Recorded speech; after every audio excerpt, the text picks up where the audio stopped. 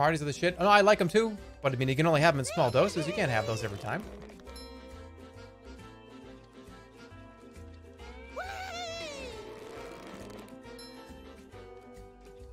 Doses? Yeah, I'm saying, like, you can't just eat Smarties. Smarties and Tootsie Rolls from, like, 1993. Smarties are great. Up your urethra.